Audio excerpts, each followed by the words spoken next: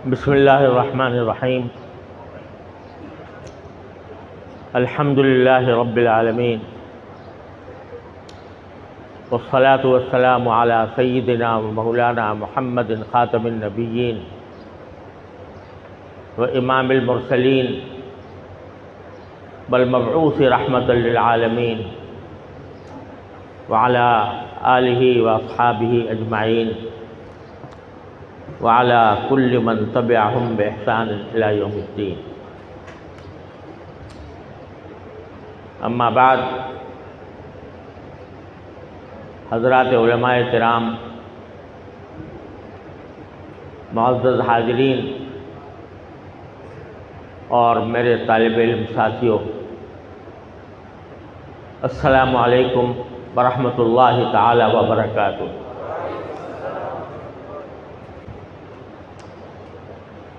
मेरे लिए हमेशा खुश नसीबी और सआदत रही है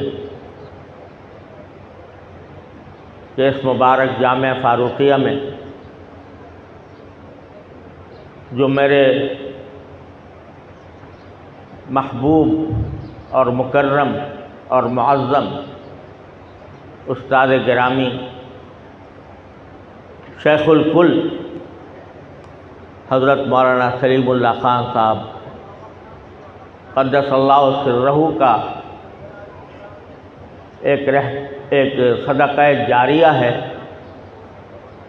जो इन रहती दुनिया तक हम जैसे तालब इल्मों की रहनुमाई करता रहेगा।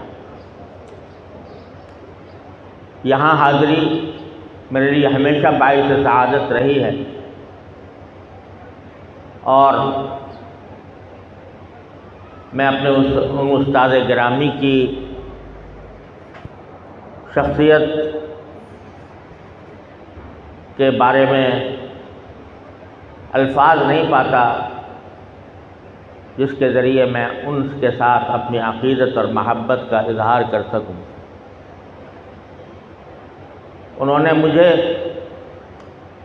इल्म की वादी में उंगली पकड़कर चलना सिखाया।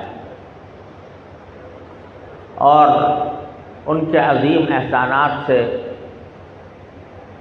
मैं कभी भी अपने आप को, अपने सर को, अपने जिस्म को, उनके एहसानात के बोझ से कभी भी हल्का नहीं कर सकूँगा।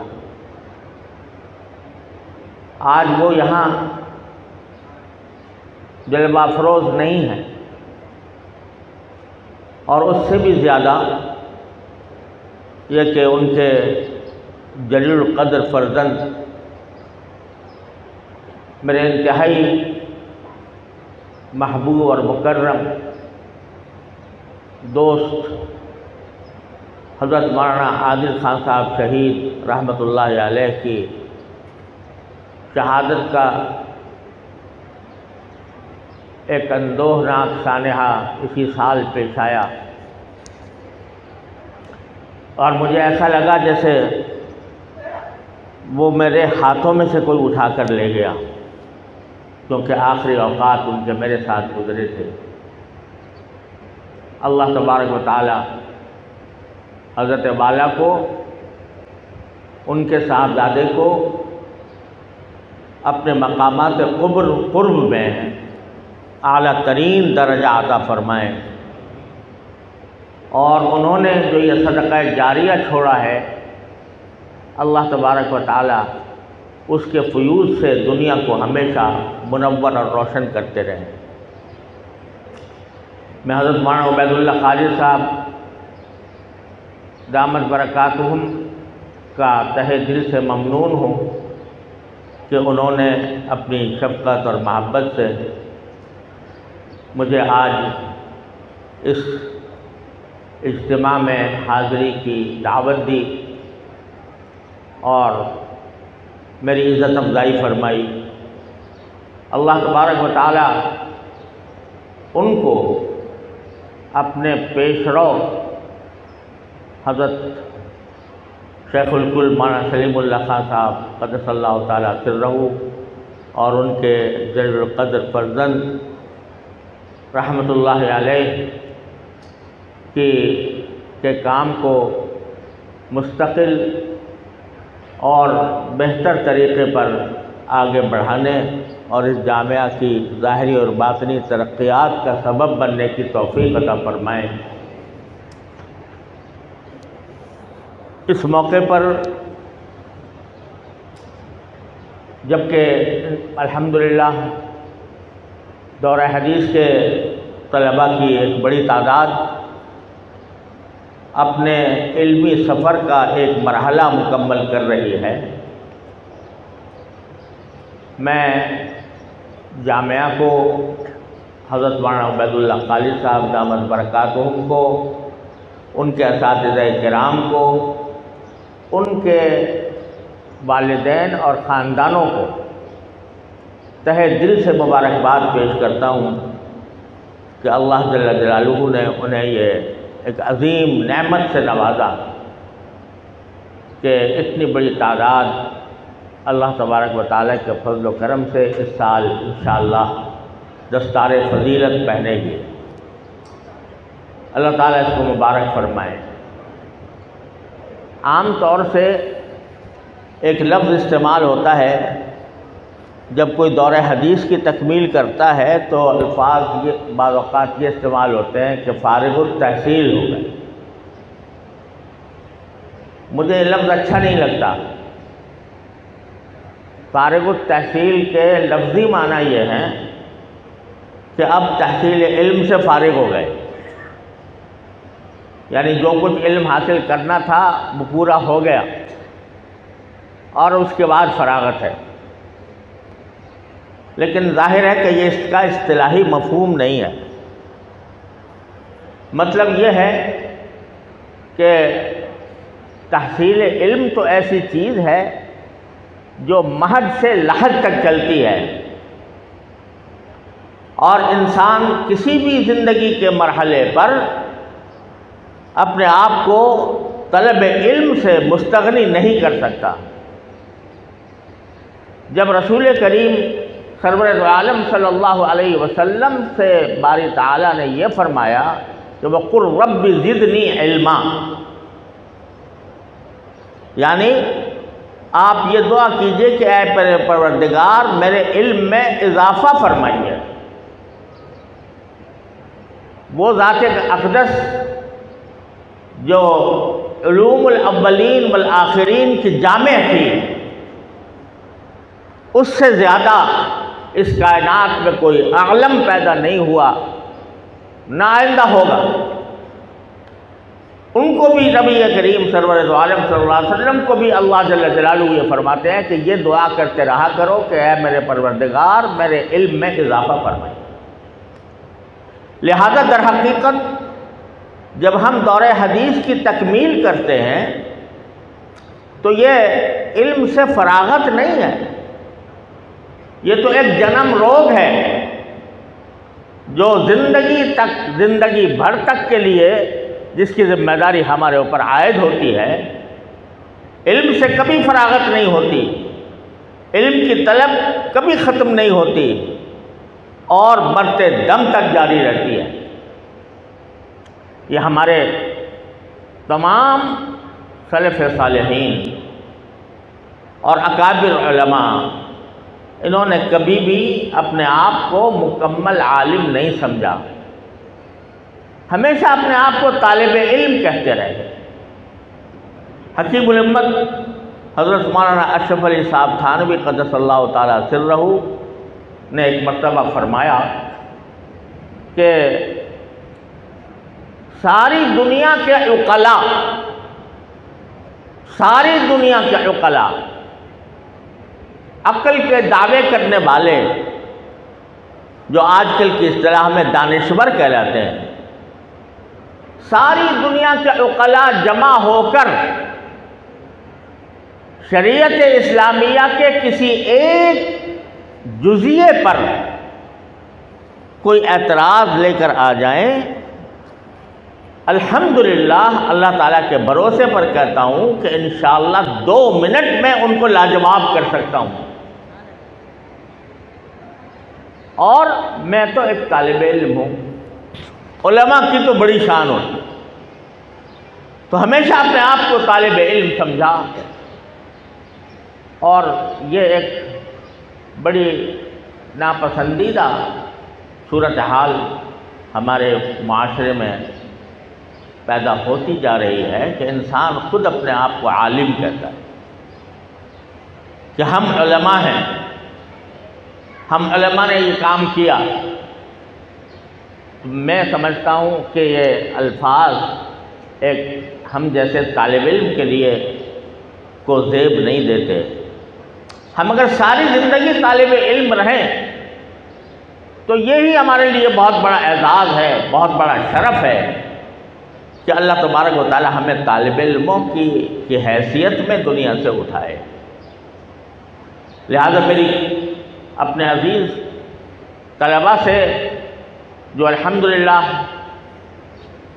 इस वक्त अपने दरस निज़ामी की तकमील कर रहे हैं उनसे मेरी इंतहाई आजाना गुजारिश है कि वो इसको अपने लिए फरागत तहसील न समझे। बल्कि ये समझे कि तालब इलम तो अब शुरू हुई है। ये सारे ूम जो हम पढ़ते पढ़ाते हैं, उनका हासिल सिर्फ़ ये है कि अल्लाह तबारक वाली के फजल करम से इन के नतीजे में इंसान के अंदर क़वत मताल पैदा हो जाती है। और इस्तेदाद पैदा हो जाती है कि वो आगे इन ूम के अंदर आगे तरक्की करे और ूम मारिफ का जो नापैदा कारार समंदर है, उसमें गवासी का फ़न उसको आ जाए। लिहाजा मुबारकबाद के साथ मैं ये बड़ी आजाना गुजारिश करता हूँ कि अपने आप को कभी भी तलब इल्म से मुस्तना न सम, मुस्तगनी न समझें। और इन ये तलब इल्म मरते दम तक जारी रहे। मैंने अपने वालद माजिद, हज़रत मौलाना मुफ्ती मोहम्मद शबी साहब कदसल्ला तरहू से सुना। वो हज़रत इमामुल असर अनवर शाह साहब कश्मीरी रमत के खसूसी शागिर्द थे। और उन्होंने मुझे ये वाक़ सुनाया कि हज़रत साहब कश्मीरी रमत एक मरतबा देवबंद में बीमार हो गए थे। और रात के वक्त में ख़बर अफवाह ये देवबंद में ये अफवाह फैल गई कि हज़रत शाह साहब कदसल्ला तरह का विशाल हो तो हज़रत के जितने शागिर थे वो परेशान होकर हज़रत के घर की तरफ़ दौड़े। आखिर शब का वक्त था। इंतज़ार किया। मालूम हुआ कि वहाँ घर के ऊपर कोई बज़ाहिर मफाद के आसार नहीं थे। लेकिन सोचा कि नमाज़ फजर के बाद हज़रत की खिदमत में अयादत के लिए हाजिर हों। तो हज़रत वाल माजिद रहमत फरमाते हैं कि हम फजर की नमाज़ के बाद हज़रत की खिदमत में हाजिर हुए तो उनका एक हुजरा था, छोटा सा हुजरा। उसके अंदर हज़रत की ज़्यारत के लिए और मुलाकात के लिए हम पहुँचे। तो देखा कि हज़रत शाह साहब रहमत अपने सामने एक चौकी रखी हुई है जानमाज के साथ, और उसके ऊपर एक किताब खुली हुई है। और चूँकि अंधेरा था, अभी तक सूरज की रोशनी पूरी तरह नहीं फैली थी, इसलिए हज़रत उसके ऊपर झुक कर उसका मुताला कर रहे थे। जब जाकर ये मंज़र देखा तो हज़रत के बाद शागिर्दों ने हज़रत से अर्ज़ किया कि हज़रत, आपने हमारी ज़िंदगी के बहुत से मसाइल हल किए और कितने ूम मारिफ आपने अपनी तदरीस तकरीर और तहरीर के ज़रिए दुनिया में फैलाए। एक सवाल का जवाब हमें दे दीजिए। वो ये कि आप इतने बीमार हैं कि सारे देवबंद में आपकी वफ़ात की खबर मशहूर हो गई। और इस हालत में आप मुसल्ले पर बैठकर सामने किताब रखकर और झुककर उसका मुताला कर रहे हैं तो ज़रा हमें ये बताइए कि ऐसा कौन सा फौरी मसला पेश आ गया था जिसकी वजह से आपको किताब की मुराजात की ज़रूरत पेश आई? अल्लाह ताला ने आपको तो ूम ऐसे दिए हैं। सारे, पता नहीं, हर वक्त मुताले में गर्क रहते थे। तो सारी दुनिया की किताबें आपके निगाह से गुजर चुकी हैं। सारे मसाइल आपने हल करके हम लोगों को सैराब किया है। तो ऐसा कौन सा मसला है जो अभी तक आपके इल्म में नहीं आया? और अगर इल्म में आया तो ऐसा उसका फौरी ज़रूरत कैसी क्या थी कि अभी अभी इसी हालत में उसको देखना था? अगर ऐसा कोई मसला था भी तो आपके शागिर्द मौजूद थे, किसी भी शागिर्द से फरमा देते कि इस मसले को तलाश करके मुझे बता दो। लेकिन आप अपनी जान पर जो ये जुल्म कर रहे हैं कि इस बीमारी की हालत में झुक झुक कर किताब पढ़ रहे हैं, ये क्यों कर रहे हैं? इसका सवाल बनाए इस सवाल का जवाब बनाए कर हम दे दें। तो हज़रत ने बहुत ही मासूमन अंदाज में सर अकदस उठाया और फरमाया कि भाई तुम सही कहते हो, लेकिन मैं क्या करूँ? ये भी तो एक बीमारी है। एक किताब देखना, ये भी तो एक बीमारी है। ये ऐसी बीमारी लग गई है कि जब तक किताब सामने न हो, उस वक्त तक ज़िंदगी बेकार मालूम होती है। ये थे हमारे अकाबिर, तलब इल्म, जिनकी किताबों से, जिनके तकारीर से, जिनके फ्यूज से हम सब सैराब होते हैं। तो तलब इल्म कभी ख़त्म नहीं होती, और किसी किसी वक्त ख़त्म नहीं होती। हज़रत इमाम यूसुफ रमत का वाक़ आपने सुना होगा। हज़रत इमाम यूसुफ रमत बीमार थे, उनके शागिर्द उनसे अयादत के लिए हाजिर हुए। तो हज़रत इमाम यूसुफ रमत से खैरियत दरियाफ्त की उन्होंने कोई रस्मी तौर पर जवाब देकर फरमाया कि भाई, ज़रा ये बताओ कि जो जमरात की रमी होती है हज में, वो सवार होकर करना अफजल है या पैदल करके अब करना अफजल है? यानी एन मरज वफात के अंदर ये मसला जहन में चक्कर खा रहा है कि रमी जमार राकेबन अफजल है या माशियान अफजल है? शागिर ने कहा, हज़रत, राकेबन अफजल है। मालूम होती है? कहा कि नहीं। कहा कि जैसा राकेबन अफजल होगी। कहा कि नहीं। फिर हज़रत, आप ही फरमाइए। तो फरमाने लगे कि मुझे ये ख्याल आ रहा है कि नबी करीम सरवर आलम वसल्लम ने जमर अकाबा की जो पहले दिन रमी की थी, वो सवार होकर की थी। और बाकी दिनों की रमी पैदल की थी। लिहाजा पहले दिन की रमी तो राकेबन अफजल है और बाकी दिनों में माशियन अफजल है। पैदल चल के रमी करना अफजल है। वो कहते हैं, मैं ये इल्म की बात सुनकर हज़रत के घर से निकला चंद कदम चला था कि उसी घर से आवाज़ आई कि हज़रत इमाम यूसुफ रहमत के रूप बर्बाद कर यानी आखिर वक्त तक जहन में एक मसला चक्कर काट रहा था और उसी की तरफ़ ध्यान था। मरते दम तक इसको कहते हैं तलब मिनल महदी इल्लाह अल्लाह तबारक ने हमारे बुज़ुर्गों को ऐसा ही बनाया था। अल्लाह ताला उस तलब का कोई हिस्सा हमारे अंदर ही पैदा फरमा और भाई, ये तलब भी उस वक्त मोतबर है, जबकि इस तलब का मकसूद अल्लाह जलालू की रज़ा हो। अगर तालब इलमी है, आदमी इल्म तलब कर रहा है, लेकिन इसलिए कर रहा है कि दुनिया कमाऊँगा, इसलिए कर रहा है कि वो नाम दुनिया में अपना नाम पैदा करेगा। दुनिया उसको बड़े बड़े अलकाब से याद करेगी और उसकी दुनिया जहान में शोहरत होगी। अगर इस नीयत से कर रहा है तो इस इल्म की एक दमड़ी कीमत नहीं है। यह तलब इल्म उसी वक्त मोतबर है जबकि उसका मकसूद अल्लाह तबारक वाली की रज़ाए कामिल हो। आज हमसे कहा जा रहा है और इस पर ज़ोर दिया जा रहा है, इस पर दलाइल कायम किए जा रहे हैं कि तुम अपने तलबा को इसलिए पढ़ाओ ताकि इनको बड़ी बड़ी मुलाजमतें मिल सकें, ताकि ये सरकारी महकमों के अंदर जाकर ये आला मनासिब हासिल कर सकें। उनको हैरत होती है, उनके तस्वुर में ये बात नहीं आती कि कोई इंसान दौलत के अलावा किसी और मकसद के लिए पढ़ सकता है। इसलिए कि पूरी कौम का जहन ये बना दिया गया है कि तालीम का असल मकसूद दुनिया का हसूल है। तालीम का असल मकसूद बड़ी बड़ी मुलाजमतें हैं। तालीम का असल मकसूद मालो दौलत का हासिल करना है। ये जहन बना दिया गया है।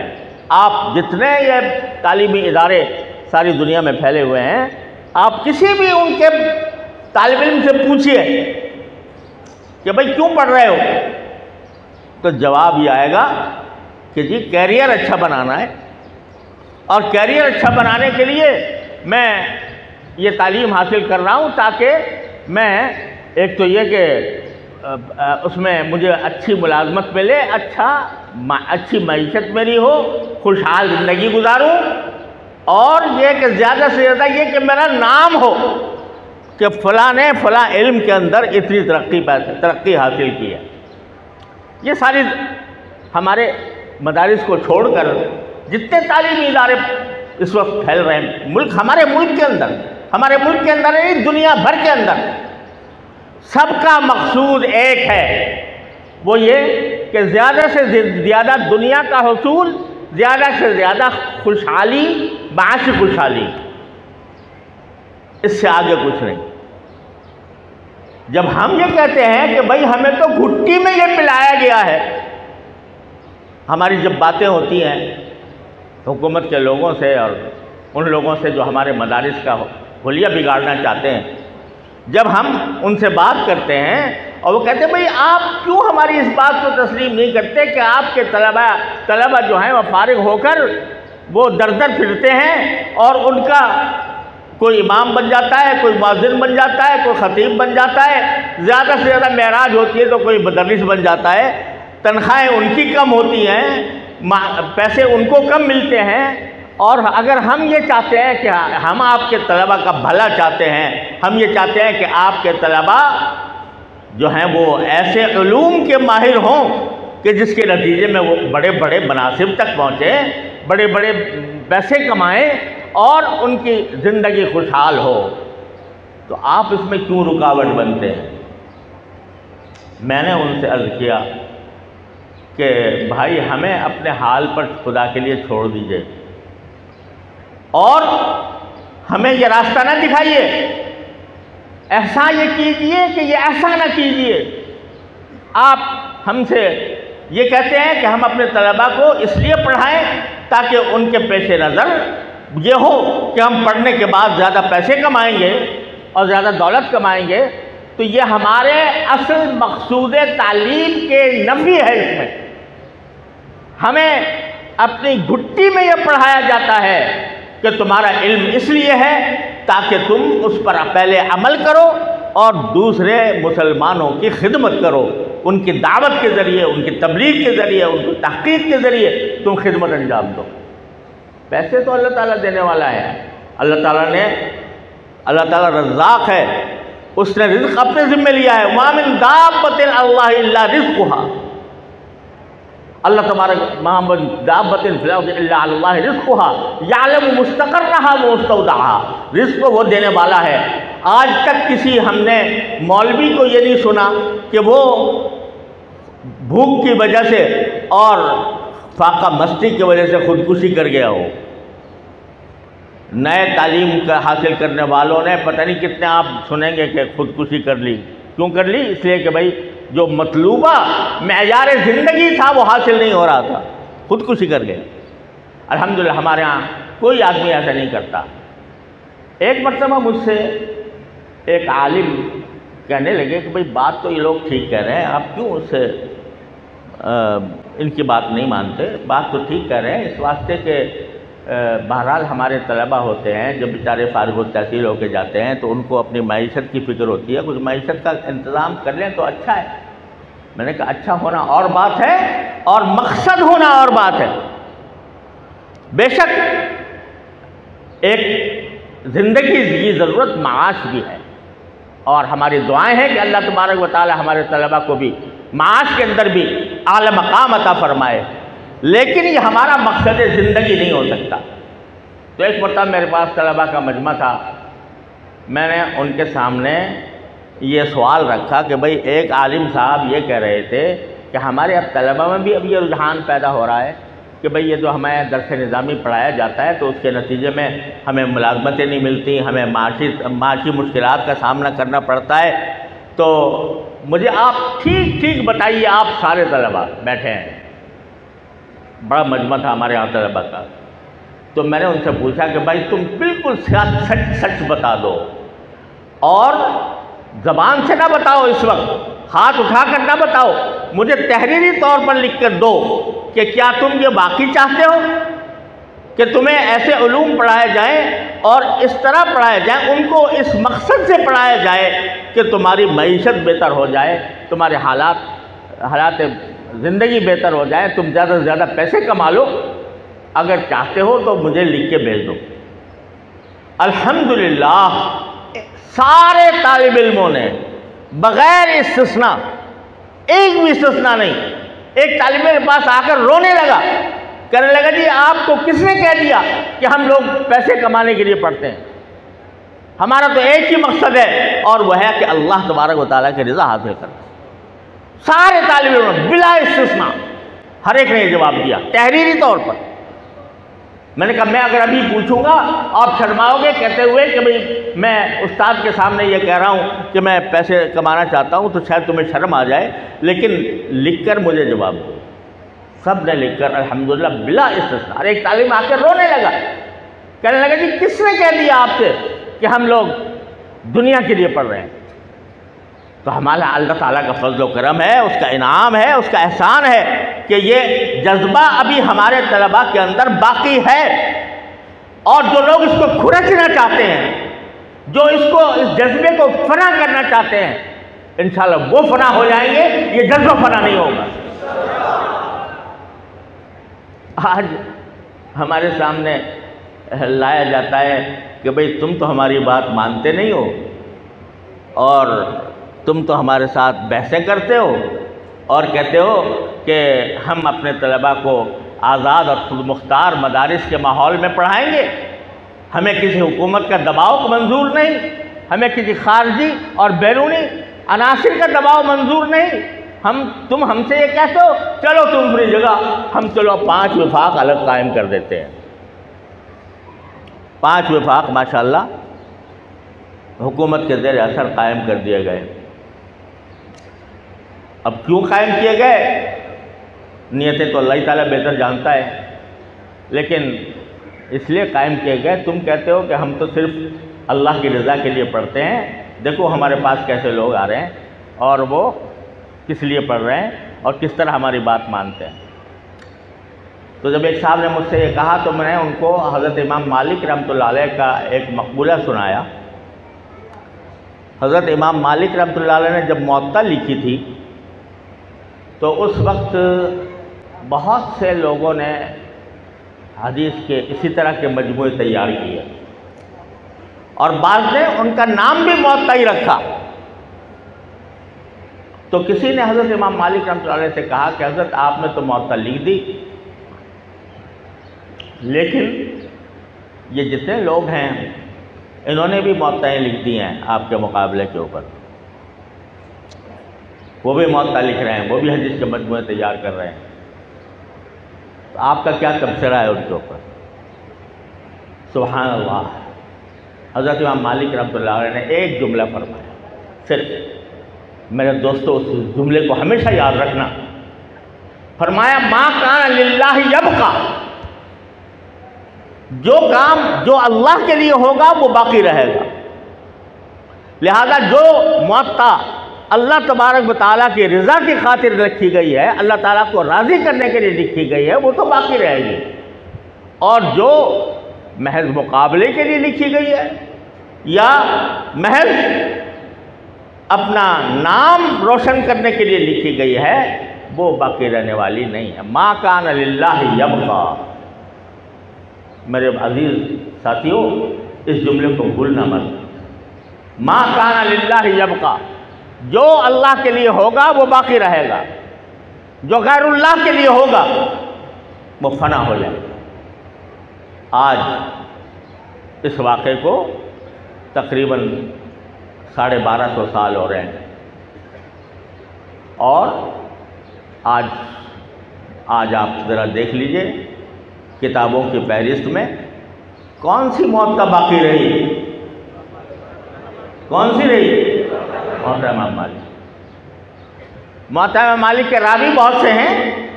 याह ने याह अलग है इमाम मोहम्मद अलग है और बहुत से रावी हैं, लेकिन है सब मोहता इमाम मालिक। उन मोहतात का कहीं कोई नाम निशान नहीं मिलता। तो भाई, हम, कोई अगर अपना विफाक अलग बनाता है, कोई अपने तालीम का निज़ाम बनाता है तो शौक़ से बनाए। मैं ये कहता हूँ कि माँ का नल्ला यबका।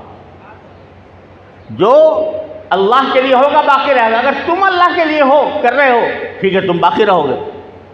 और अगर हम अल्लाह के लिए कर रहे हैं तो इंशाल्लाह हम बाकी रहेंगे। कितने तजर्बे कर लिए? कितने तजर्बे कर लिए? मेरे अजीज़ों, मैं इसलिए कह रहा हूँ कि आज आप इस वक्त मगरबी ताकतों का निशाना हैं। आज उनके ऊपर ये राज खुल गया है कि अगर हमारे रास्ते में कोई रुकावट है तो ये मुल्ला है। ये राज उनके ऊपर खुल गया कि हमारे अजाइम और हमारे मंसूबों के रास्ते में सिर्फ़ एक रुकावट है और वह है मुल्ला। इकबाल ने कहा था कि अफ़गानियों की गैरत दी का है यह इलाज। अफ़गानियों की गैरत दी का है यह इलाज। मुल्ला को इसके कोहो दमन से निकाल दो। और वो फाकश के मौत से डरता नहीं ज़रा। रूह मोहम्मद उसके बदन से निकाल दो। यह है मगरिब का एजेंडा कि वो चाह वो समझता है, वो ये समझता है कि ये कौम है, जब तक ये बाकी रहेगी, हमारे मंसूबे आलम इस्लाम के अंदर इन कामयाब नहीं होंगे। जब तक ये मुल्ला बैठा है, उस वक्त तक हमारे मंसूबे कामयाब नहीं होंगे। ये उसको समझ में आ गया। और उसके समझ में आने के नतीजे में आप निशाना हैं। अब इतने निशाने को अल्लाह ताला ने अपने फजल करम से और हमारे हज़रत हज़रत माना सलीमुल्ला खां साहब कदसल्ला सिर रहू कि रूह पुरफतूह पर अनवार की बारिश फरमाए। उन्होंने करिया करिया, गली गली, गाँव गाँव जाकर इस तरह मदरसे कायम कर दिए हैं कि खैबर से लेकर और केमाड़ी तक। और बलूचिस्तान के आखिरी हदूद से लेकर गवादर तक। आपको कोई दस मील ऐसे नहीं मिलेंगे जिसमें कोई मदरसा ना हो। तो आज ये सोचते हैं कि इतनी बड़ी तादाद को हम कैसे ख़त्म कर दें? और इंशाल्लाह कभी नहीं ख़त्म कर सकेंगे। कभी नहीं कर सकेंगे। ये एड़ी चोटी का ज़ोर लगा लें, जबर इस्तेमाल कर लें, लालच इस्तेमाल कर लें, इंशाल्लाह ख़त्म नहीं होंगे। लेकिन वो समझते हैं कि चलो भाई, अब हम तलबा को एक दूसरी तरफ़ लगा दें और उनको दुनियावी लालच देना शुरू कर दें। तो कभी ऐसा होता है कि यूनिवर्सिटियों के अंदर एक ग्रुप बनाया जा रहा, बनाया गया था दरस निज़ामी ग्रुप।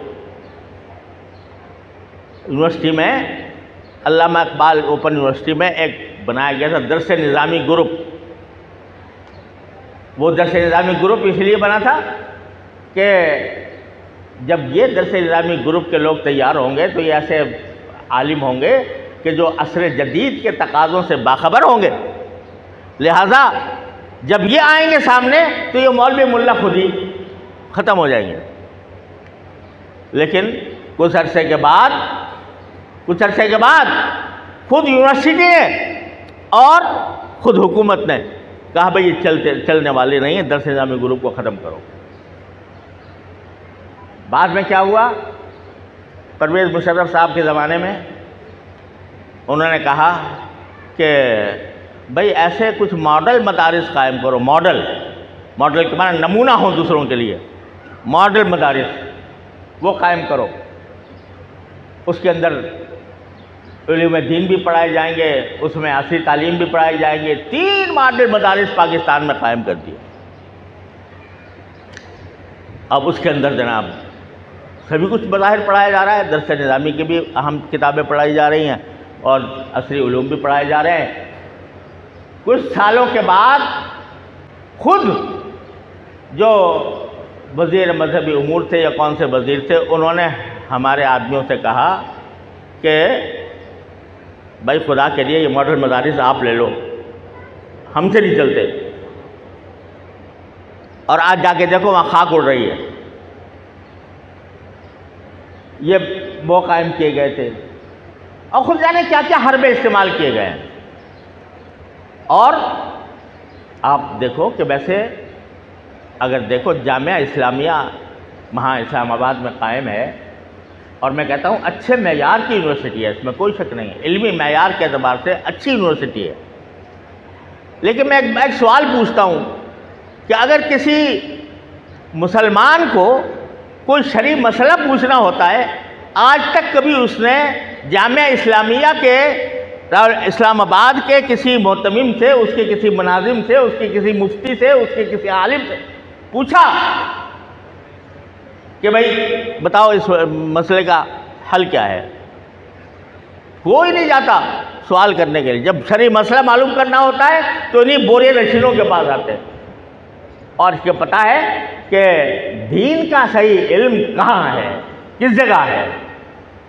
इसलिए हज़ार हरबे आजमा लिए जाए।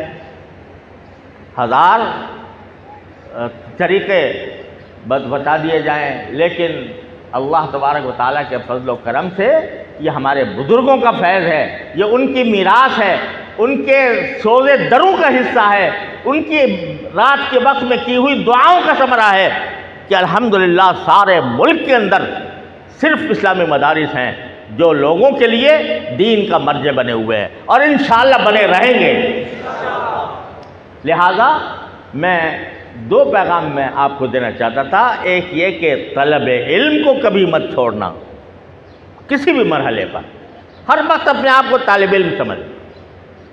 और दूसरा ये कि ये तलब इल्म अल्लाह के लिए होने चाहिए। जब कोई अल्लाह का हो जाता है, अल्लाह उसका हो जाता है। मनकान अल्लाह मकाना कान अल्लाह लहू। अल्लाह तबारक वाली फिर उसको उसको देखो किस तरह सरफराज फरमाता है, किस तरह उसको इज़्ज़त देता है, किस तरह ज़ाहरी एतबार से भी अगर जब तलब सादिक होती है, इखलास होता है तो दौलत तुम्हारे कदमों में आके गिरती है। ताकि ही दुनिया भैया रागमा, दुनिया जलील होकर आती है तुम्हारे कदमों में। एक मरतबा, तुम दुनिया से मुँह मोड़कर अल्लाह तबारक वाली की तरफ़ रुख कर लो दुनिया आएगी, जलील होकर आएगी, तुम्हारे कदमों में बिखरी जाएगी।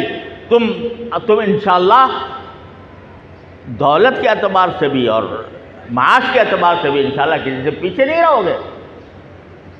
मगर ये दुनिया से इनकार और दुनिया से एराज ये इस आखिरी नतीजे की वजह से ना हो कि भाई किसी वक्त आ जाएगी दुनिया मेरे कदमों के अंदर।